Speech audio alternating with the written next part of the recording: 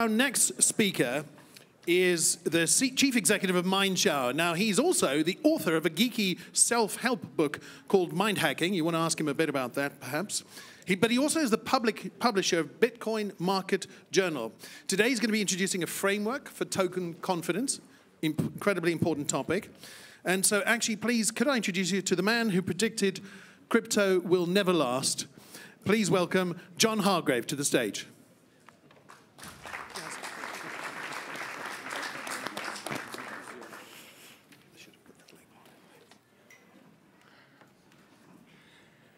This is the most exciting time to be alive ever in human history. Isn't it? Isn't it? I started out my career during the dot com boom at a technology company called Ziff Davis. We published uh, computer magazines like PC Magazine. And uh, for the younger folks in the audience, magazines were these colored stacks of paper that were uh, sold in these things called bookstores. And uh, thank you, one person laughed. And uh, it was such an exciting time to be alive, that dot com wave, working at a technology company during the technology revolution. But if anything, this time it's better. It's even more fun, it's more exciting, there's more innovation, there's more money, and it's moving so much faster than the earlier dot com wave. It's the best time to be alive. So right now I publish a Bitcoin Market Journal, and uh, we basically want to make Bitcoin accessible to uh, everyday investors. So we're basically explaining the world of uh, Bitcoin, cryptocurrencies, and tokens in a way that's accessible and uh, everyone can understand. And my favorite story about Bitcoin is that very first transaction that was made using Bitcoin, the first real world transaction made by a fellow named Laszlo Hanyecz. You probably know the story. He paid another early Bitcoin adopter uh, thousands of Bitcoin to have two pizzas delivered to his home. And those pizzas today would be worth somewhere around $100 million. So there's two ways of looking at this story. The first is that he probably overpaid for the pizzas. He did get toppings, though. And the second is that he kickstarted this entire $500 billion asset class because he showed that Bitcoin has real world value. It actually can be used to purchase physical goods. And in that sense, I think he kind of got a deal.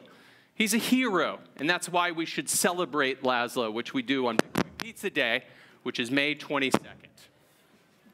But what drives value. What drives the value in the first place? You want to switch that out?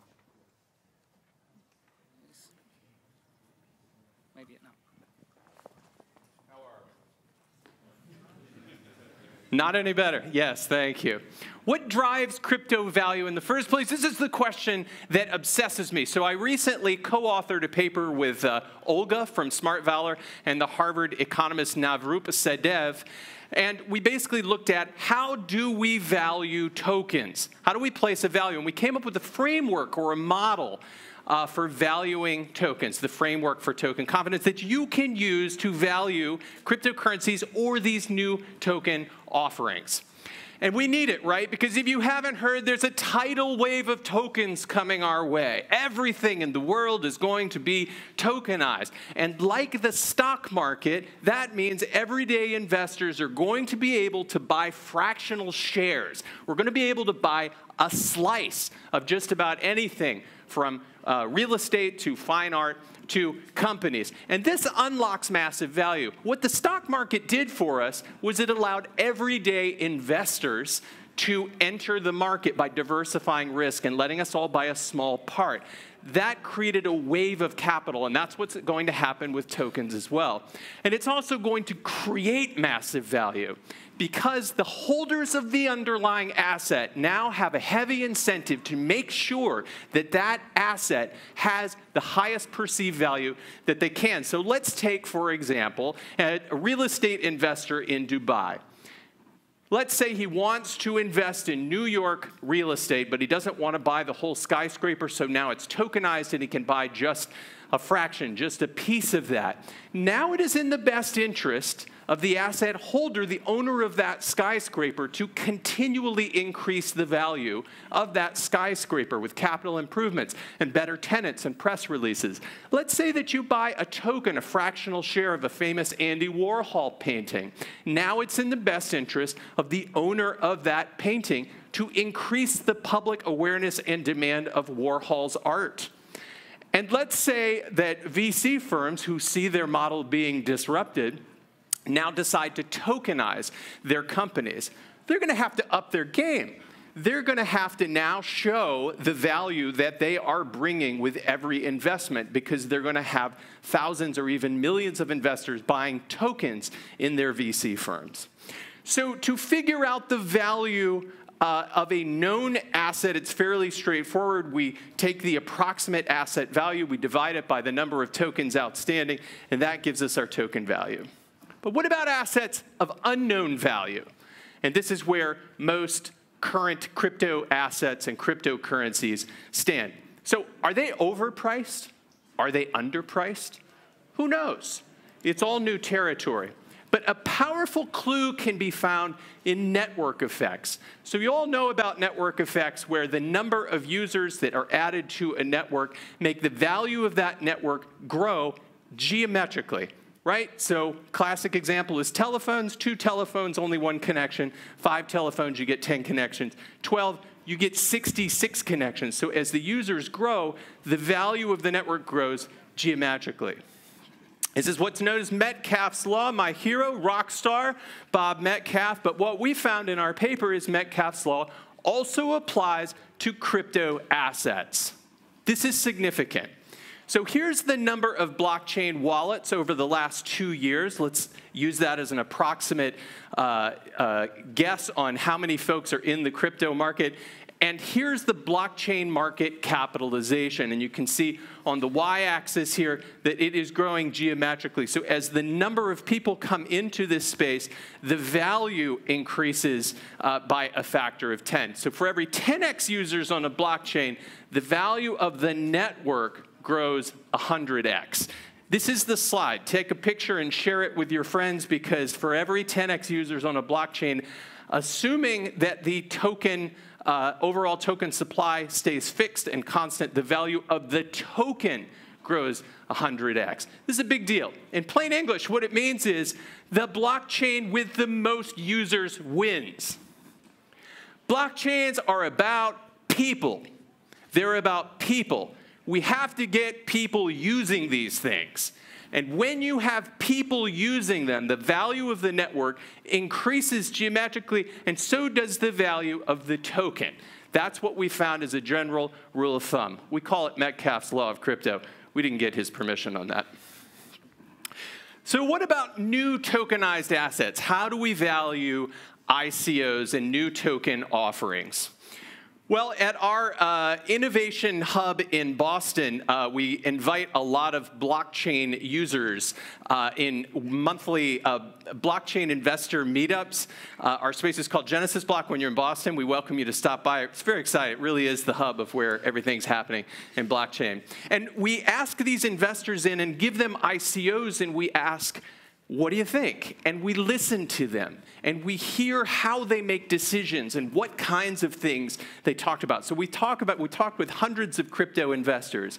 And of course, how we all should value tokens is like a VC would value a company, right? We should be rigorous in looking at the team and the market and so forth. But how we actually value tokens is we're easily impressed with things like fancy brand names and important sounding titles and institutions and a good looking website and media buzz and people talking about it on Reddit and Telegram. And this is a problem.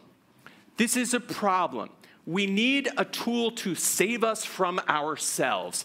The great book Thinking Fast and Slow by Daniel Kahneman won the Nobel Prize, and it basically talks about these investor biases, the way that we fool ourselves into thinking things are more valuable than they really are. So, for example, we are herd animals. We cannot help ourselves. It's how we're programmed. And it is very, very hard to follow, to not to follow everyone else, to think for ourselves. We trust what we know. This is hardwired into us from millions of years of evolution. And we fear what we don't. That makes it easy to be fooled by brands that we trust. So, for example, if we hear that the founder of Ethereum is going to start a new project, it's what called the halo effect. We say, well, Ethereum was successful, so the new project will surely be. Not the case. Not the case. Now, when we look at experts, experts, and we look at their predictions over time, often these predictions are no better than chance. So, for example, if you go look at expert stock pickers, over the long haul, in aggregate, stock pickers are no better than a monkey throwing darts at a board. Algorithms are better. So, for an algorithm, we look for three to five criteria that really matter, and then we ask three to five questions to get at each of those criteria, and we feed it into an algorithm. Best of all is an algorithm plus an expert on top of that uh, this kind of idea of humans and machines working together is the future. This is the future of the human race, folks. It's te- techno sapiens. That's what we're all evolving into. And that's how we created the framework for token confidence. And the idea behind this is it's a framework or a model or a tool that you can use to help you rigorously analyze and evaluate these token offerings. There's five categories in it, and each of these have three to six subcategories. And you ask the questions and rate the new project or new token offering from one, the worst, to five, the best. You average those subcategories, and then you average the categories uh, in total. Now, I'll go through the categories briefly for you. So, the first is the market. So, we look for projects with a clearly defined market and a clearly defined customer. And we look for markets that are large and growing. The second is competitive advantage. We want to notice the project have a moat. Do they have some kind of technical or legal or competitive advantage, maybe a patent that's going to protect them from other competitors entering the space? The third is we look for a rock star management team, like this, my favorite painting of all time. We want to know do they have a demonstrated track record of entrepreneurial success? Super important the token mechanics. We want to know how are they setting up the rules of this economy. A lot of people dig deep into the technical, the actual code. We think that's a mistake. People fall down the rabbit hole of code. But code can be changed, but the underlying token mechanics cannot easily be changed. So figure out how are the rules of the game being set up from the beginning and are they fair? Do they make sense for the long term? And finally, user adoption. The blockchain is about people. Hashtag that, send it out, because people have to use these things in order for them to be valuable. So, how are they going to get people to use these projects? Do they have a path for that, a credible strategy? So, today, just like Oprah, everybody here gets a valuation framework. Uh, it's on your seats, and if you don't have one, too bad. I'm sorry, we ran out of them, but uh, you can ask someone else here. And uh, some lucky folks also got one of our ICO manifestos. These go so fast. One side is for founders, the other side is for investors. We give this out free of charge, and it talks through some of our philosophy for investing uh, in these. And briefly, that is we look for great projects with great managers, just like every great investor uh, Warren Buffett, Charlie Munger, Ben Graham.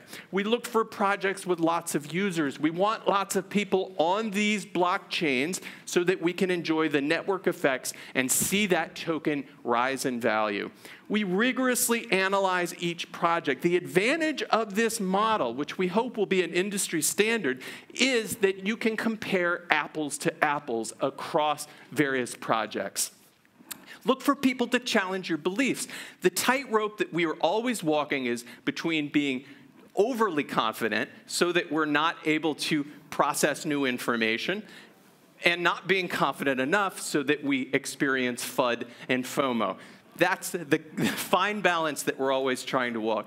And finally, we're looking for projects that add long term value. This is the spirit of this space that we're working in right now, adding value. How much value is being added today by Olga and Smart Valor through this whole conference, through the conversations that are going on? How much value is being added from this framework that we're giving you right now?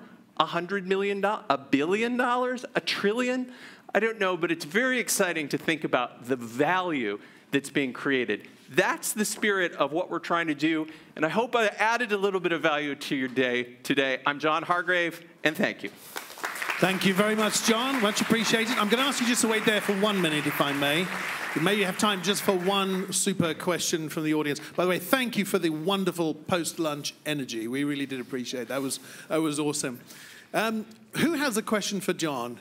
Uh, I like the uh, billion, dollar, billion dollar value added by the uh, pricing matrix. So anybody has a question about that? When I pass the microphone, sorry, would you mind passing the microphone back? And no, I'm going to come around here um, and say who you are and then your question, please. Hi, my name is Jennifer Wu. I'm the CFO of ScanTrust. Just a, um, a quick question. Thank you for sharing your framework mm -hmm. for sure. token confidence. It sounds really great. Um, but of all the ICOs that you've seen out there, how many ICOs do you really see that fit your framework? Uh, well, they all fit the framework in that they can be evaluated using that framework. And that's the idea that we have an apples to apples model that we can use to compare all these projects. And again, we want this to be the industry standard. Our team of journalists and analysts at Bitcoin Market Journal have analyzed about a 1,000 ICOs to date and crypto projects. And we use this model, uh, and very much like this, we uh, bring it out there and uh, share this with folks, and we sort of get an average on all of their opinion, and that becomes our, our rating. We also uh, are doing this now with investors worldwide. I was in San Francisco on Monday, and we break uh, our workshops up into teams, and then we train them to uh, invest these as well. These are ordinary, uh, you might call them individual crypto investors, and we walk them through the model and then take their ratings as well. And they usually match up pretty closely with, with our expert opinions. Does that answer One more question? question just over here, please. Hi, I'm Jane. Hi, Jane. Um, hi. Just wanted to ask a very quick question. All this analysis that you're doing of the ICOs, do you make this public? Yes. So this the question is, is do we make it public? Yes. It's on bitcoinmarketjournal.com. We uh, analyze, rate, and review, first of all, what we call a quick score, which is sort of an initial pass, but then our analysts go in and do a deeper dive using this framework. Yep. Thank you very much. Please put your hands together for John Hargrave. Thank you, sir.